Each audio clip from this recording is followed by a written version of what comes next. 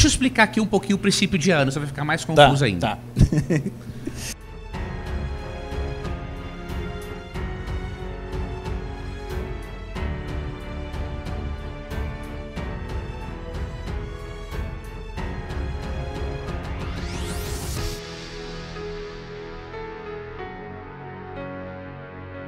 Participe agora da mentoria de interpretação bíblica, a Bíblia fácil de entender. Estude de uma forma simples e didática comigo e entenda textos difíceis. Compreenda e aplique a palavra de Deus à sua vida.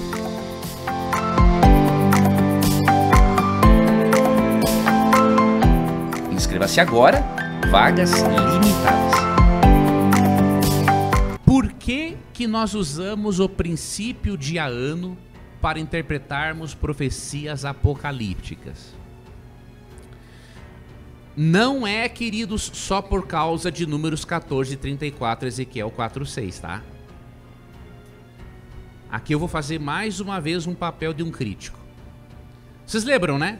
Nós usamos o princípio de ano com base em Daniel, em Ezequiel 4:6, que fala lá um dia por um ano, e também com base em Números 14, 34. A pergunta é: que base nós adventistas temos para usarmos um livro, uma narrativa, como base de uma interpretação de um livro profético? Por que, que eu vou pegar um dia por um ano numa narrativa e relacionar um livro apocalíptico que é profético? Qual é a base teológica que nós vamos fazer isso? Não seria fruto da nossa imaginação?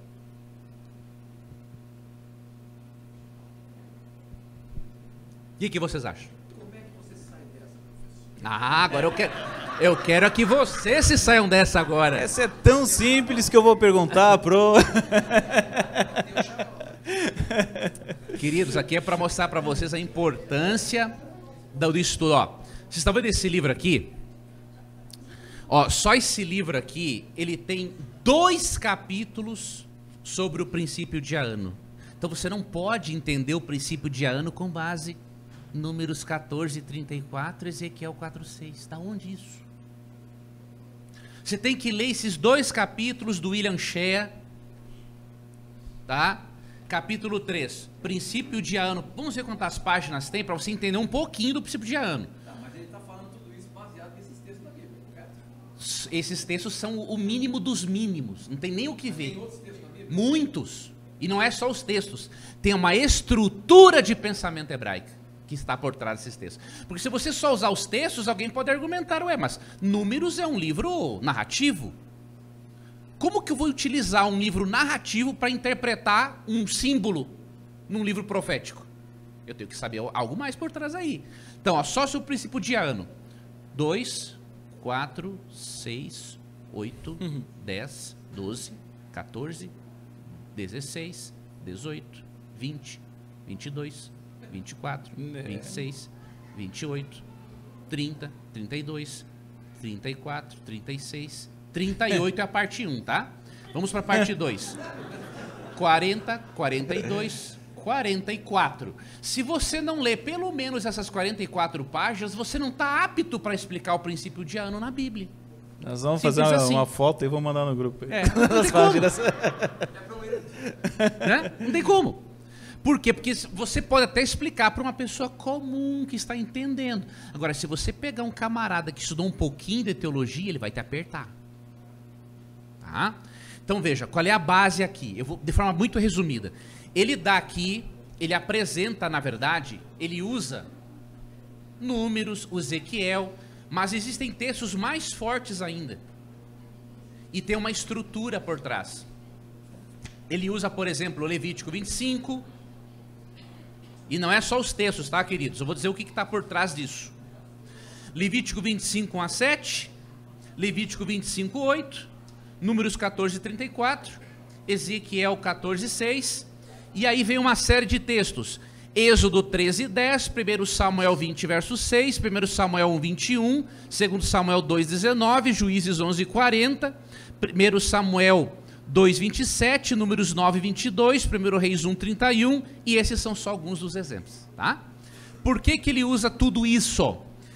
A estrutura de pensamento hebraico é a resposta. Eu vou ler um texto para vocês verem, que é o seguinte: na estrutura do pensamento hebraico existe muito essa correspondência. Dias no plural equivalendo a ano.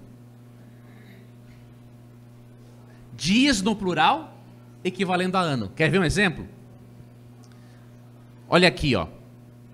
Vamos ler 1 Samuel 1:21, falando dos sacrifícios, fala assim: Sacrifício dos dias.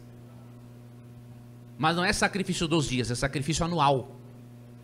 Dias no plural, na estrutura de pensamento do hebreu, é ano. Tá? Não que um dia equivale a um ano, por favor. Aqui é dias no plural. Tá? Outro detalhe. Aqui, ó.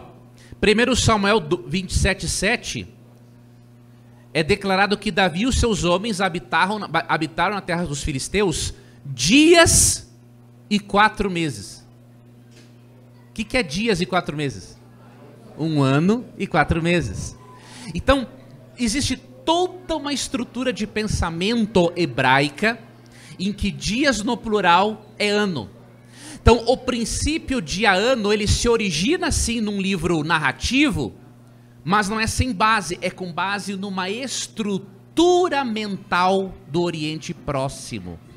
Então eu não pego números 14, Ezequiel 4 de forma aleatória, ah, um dia equivale a um. Não, tem uma estrutura mental por trás. E o segundo argumento, e esse é o mais forte, por que, que tem que ser 70 semanas de anos equivalendo a 490 anos. Esse é o argumento mais importante. Porque os eventos dentro das 70 semanas não, não, não, não, não servem se forem 70 semanas literais. Quanto dão 70 semanas literais? Um ano e meio. Exatamente. Então, como que você vai colocar ali, ó, a vinda do Messias, é a morte, a unção, o batismo, e depois chegar ao final de 1844. Não serve ali dentro. Então existe esse princípio também interessante. Sempre que em profecia, quanto menor é o número de tempo numa profecia, maior é a probabilidade de ser literal. Por exemplo, Apocalipse 2:10. Perseguição de 10 dias. Não bate. Na verdade, ali são 10 anos, que é o período que Diocleciano,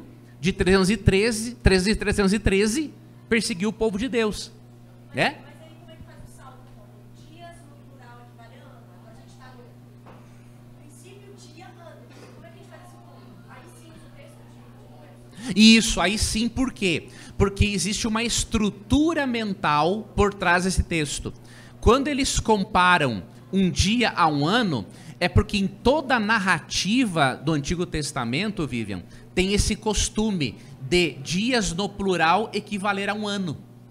Por exemplo, dias e quatro meses, um ano e quatro meses. Então, quer dizer, esse princípio de ano, ele tem uma origem nessa estrutura mental. Só que aí em Números 14, ele está num contexto profético também. Então, na verdade, continuamos nos baseando nesses dois textos que são explícitos. Só que não de, neles de forma isolada. Exatamente. É a ponte que faz entre o narrativo e o profético. Exatamente isso. Leandro. Aí nós temos uma base. É, existe um raciocínio também quando nós pegamos Lucas capítulo 3, onde fala do 15 ano Tibério César, que na verdade era o batismo de Jesus, uhum. que esse ano na verdade é o ano 12, como ele estava no 15 ano dele, de ministério dele, né, de reinado dele, somando os 12 mais os 15 que estavam no, no, eram batendo de Jesus, dá o 27. Perfeito. Você pega o 27, pega. Aí não tem como ser literal mais. Você tem que aplicar o dia ano para voltar a achar a data correta Exato. do 457, que é da Tarcherche. Porque realmente não, não, o, o, os eventos não servem dentro, né? Aí quebra qualquer outra ideia, né? Exatamente, não servem dentro, como o Rolo também falou ali, não serve dentro, exatamente isso. Participe agora da mentoria de interpretação bíblica, a Bíblia fácil de entender. Estude de uma forma simples e didática comigo e entenda textos difíceis. compreenda e aplique a palavra de Deus à sua vida.